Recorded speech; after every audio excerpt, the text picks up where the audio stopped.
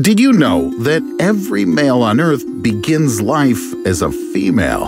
The Y chromosome, which is responsible for the development of a fetus into a male, is inactive for the first five weeks, and the embryo develops into a female. Starting with the sixth week, when the Y chromosome comes into play, everything changes. The body of a future man is formed with certain peculiarities dictated by evolution. For example, men have big noses because they consume more oxygen. They also have fewer pain receptors, which makes them more resilient. The peculiarities of the male body and psyche are essential for survival, finding a mate, group interaction, and producing healthy offspring. And achieving success in all of these areas makes him a champion, both in primitive times and now. But why did evolution make men simpler? Is it true that the larger the feet, the larger the penis? Who's the fastest to escape from a disaster, a mouse or a man? And can we call a man the coolest male on the planet?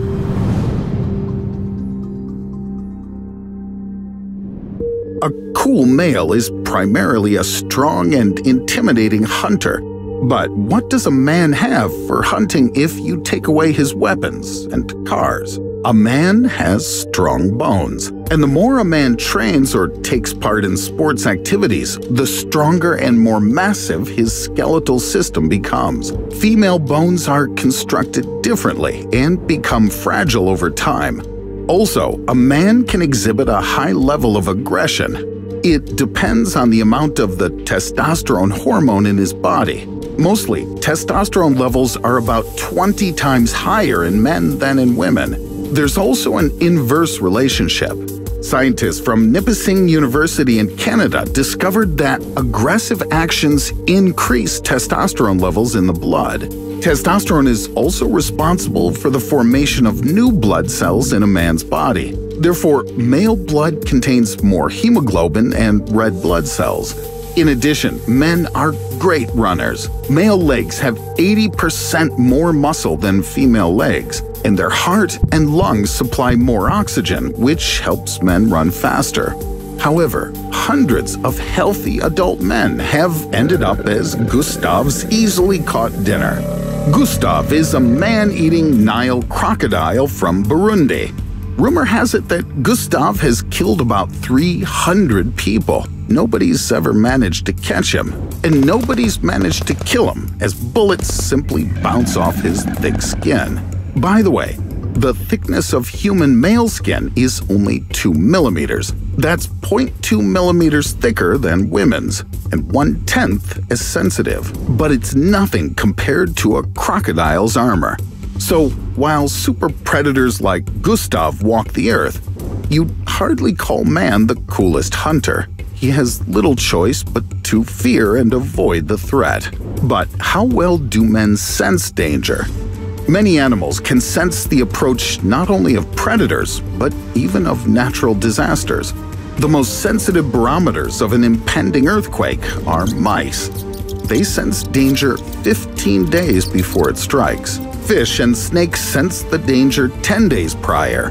Dogs and hens 10 days before it actually happens.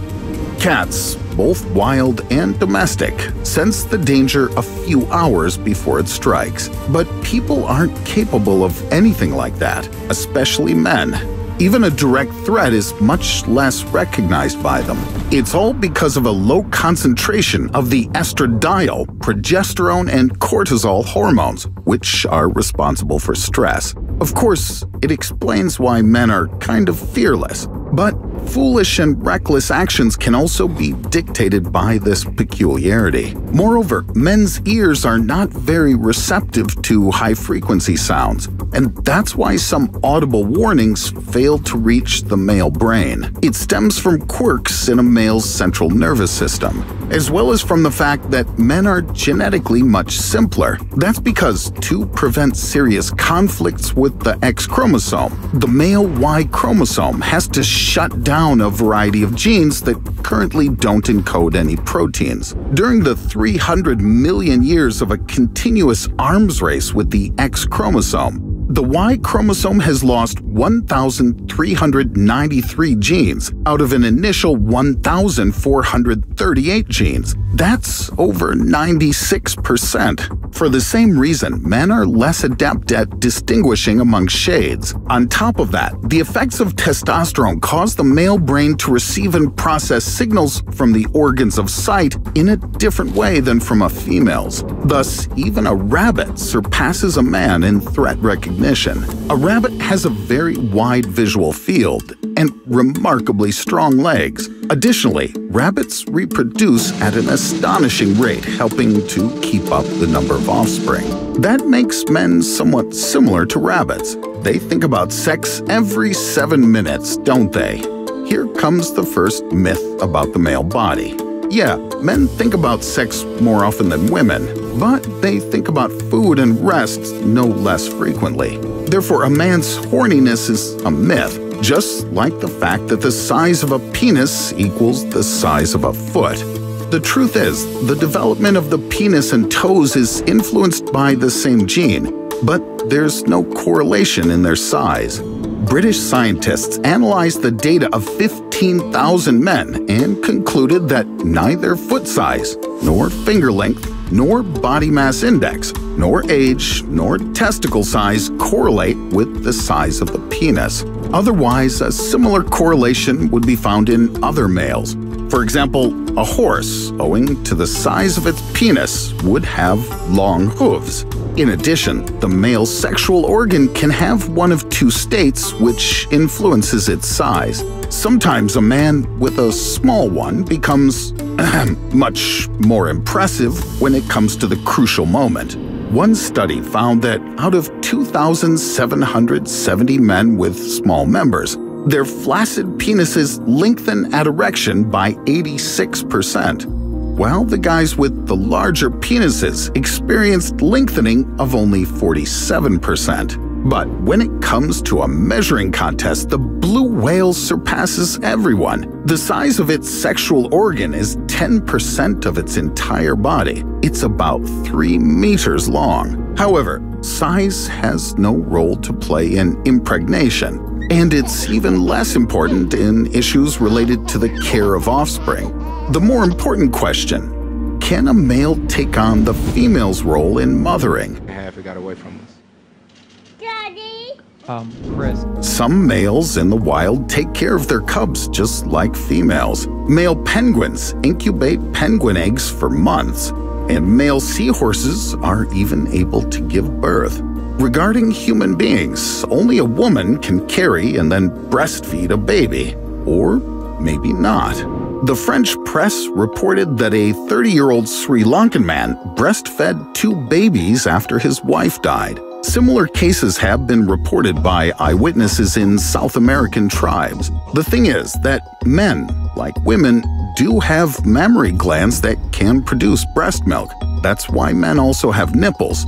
The glands just aren't active in men, and the nipples are considered to be simply rudimentary organs, ones that no longer function due to their uselessness. But the amount of prolactin, or lactation inducing protein, can increase in a male body due to starvation or nipple stimulation. Accordingly, some men are able to breastfeed their babies. And that's not all. It turns out that men also suffer from premenstrual syndrome. 26% of men regularly experience various symptoms, ranging from pain in their lower abdomen to increased food cravings. It's most likely the result of reduced testosterone concentrations in these males' bodies. And just like women, on those occasions they become irritable and hypersensitive. But still, a man will never be able to give birth to a baby, and a seahorse can give birth to thousands of babies, and that's admirable. But did man manage to become the coolest male? The answer lies in a riddle. Who can sense danger worse than a mouse? Who can easily become a crocodile's dinner? Whose penis loses in a size contest with a whale? And who can never give its children what a seahorse can give? The correct answer is a horse. But a human male also just simply isn't as cool as he claims to be. especially if you take away all of his technological advantages. So, to improve yourself, subscribe to the channel, learn more, and get cooler.